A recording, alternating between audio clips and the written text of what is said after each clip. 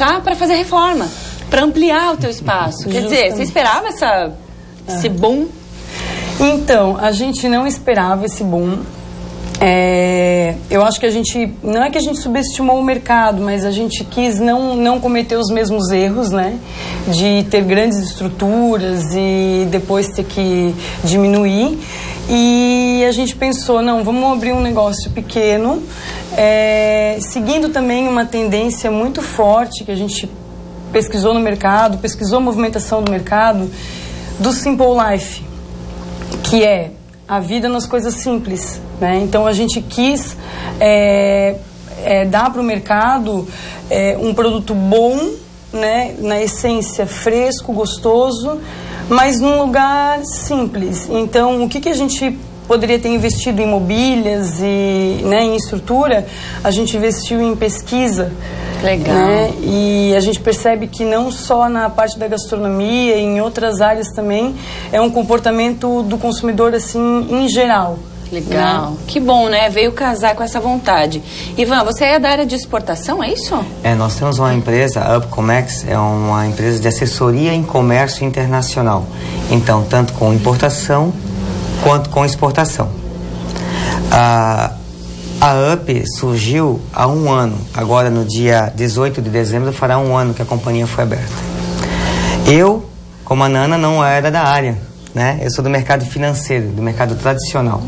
Né? Eu tenho 20 anos de CLT como ex-bancário, ex-cooperativando e foi uma experiência muito válida. Por quê? Porque foi a soma, né? A minha esposa, a Érica, ela tem como, como academia, como negócio, como DNA, o comércio internacional. E eu venho como DNA e como academia no mundo financeiro.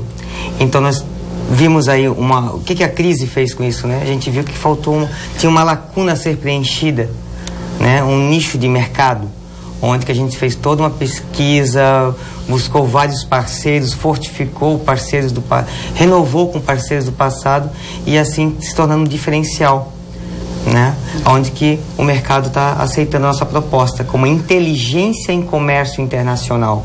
Não é apenas fazer documento, não é apenas é, acompanhar uma carga, mas sim é desde desenvolver o produto lá fora, que é uma bandeira que a gente tem, ou o produto aqui dentro, que tem uma parte do, do nosso negócio que é o outsourcing, que permite isso. Mas eu entendo que vocês aproveitaram, o gancho disso tudo é, vocês aproveitaram um momento em que todo mundo estava muita gente perdeu emprego, muita gente se viu numa situação jamais imaginada, não é, Donizete? A gente viu, cresceu o desemprego assim absurdamente e assustadoramente.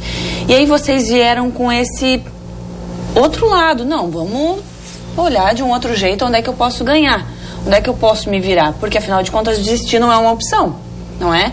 Como é que vocês viram isso de, de não, vou ter que sair da minha zona de conforto, que já aprendemos aqui no Ver Mais que não é tão conforto assim, uhum. né? Uhum. A gente tem mesmo que estar um, todo momento se mexendo e, e, procurando, porque senão a gente fica estagnado. E onde é que vocês viram esse filão de não, agora eu vou por exemplo, a Nana saiu do mercado têxtil, é. agora eu vou realizar um sonho. Há dois anos atrás, é, a gente já, né, com, com os, o começo da crise, que já, já, já era visível, é, a gente já já tinha pensado lá atrás que as pessoas iam ter menos é, poder de compra hum, para gastar né, em, em, comida, em sair para comer. Certo. Né?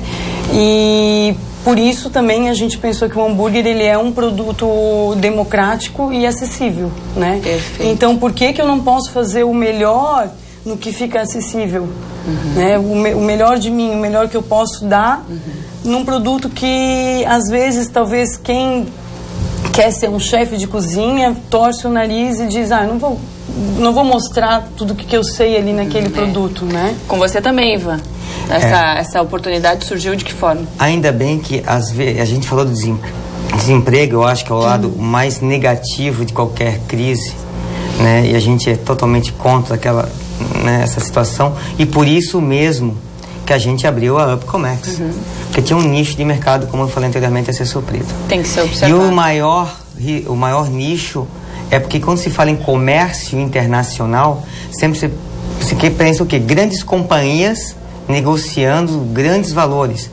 E nós temos vários exemplos aqui na região que são com a crise são pequenos que mudaram a sua rotação, aquilo que a Nana falou anteriormente, mudou o mercado e esses pequenos estão fazendo negócio lá fora, porque o mercado consumidor interno não tinha recurso financeiro para adquirir o bem. Então, mas ele, ele pensa assim, mas quem vai dar essa assessoria? Quem pode dar essa assessoria? Aí o que, que a gente fez? Divulgou, a gente já trabalha até para pessoa física. Olha. Temos um produto chamado Comex Fácil, dentro da Comex, que é direcionado totalmente para essa pessoa que não tem nenhuma noção do produto comércio internacional. É nessas horas que a gente vê a capacidade de adaptação, de se mexer, de ir atrás. Donizete, eu vi aqui ó, que no Sebrae Blumenau, me corrija se eu estiver errada, foram Sim. mais de 9 mil pessoas atendidas pela entidade nos 40 municípios da região.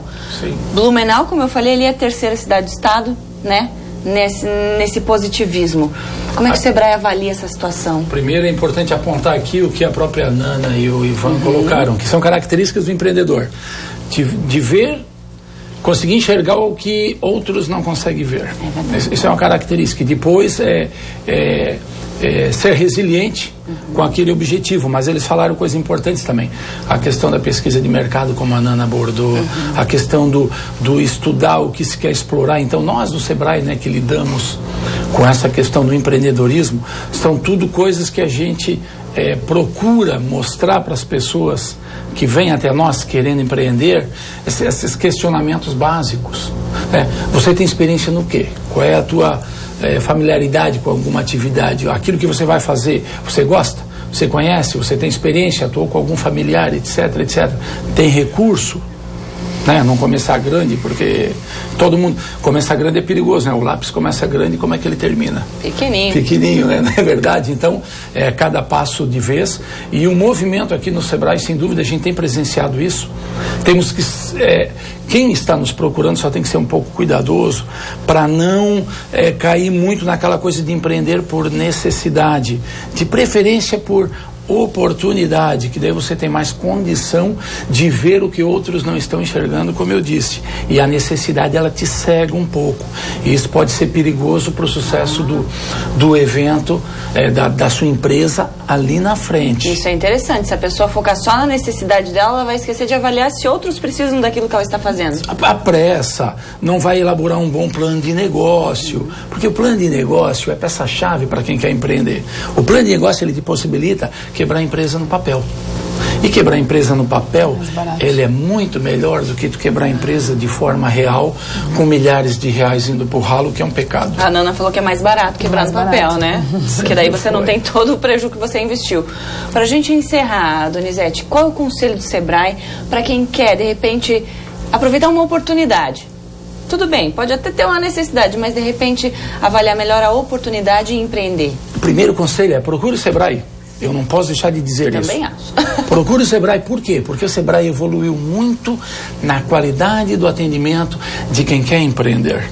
Evoluiu muito. Uma pessoa que vai lá hoje, ela sai de lá entendendo que ela tem que se conhecer, conhecer o mercado, entender tudo com relação ao mercado, a, a si própria, colocar isso no papel, ver as questões financeiras, etc. e tal, para a partir daí ter uma boa tomada de decisão. Então, esse é o primeiro recado que eu posso dar. O segundo é aquilo que basicamente esses empreendedores aqui de sucesso né, é, já demonstraram. É, explore alguma coisa que você tenha conhecimento, né? analise principalmente o mercado e vê que, que é viável. Essas são as principais questões. E depois é, se mantenha capacitando, porque isso é importante ao longo do tempo. Também. Parar nunca, né? Não. Maravilha. Gente, obrigada e parabéns pelo Obrigado. sucesso, por empreender, porque isso não é para qualquer um, né? Obrigada por ter vindo também, Nanizete. A gente que agradece. Valeu. Valeu. E agora a gente faz uma breve paradinha, mas eu volto já já. Tem muito mais aqui no nosso Ver Mais.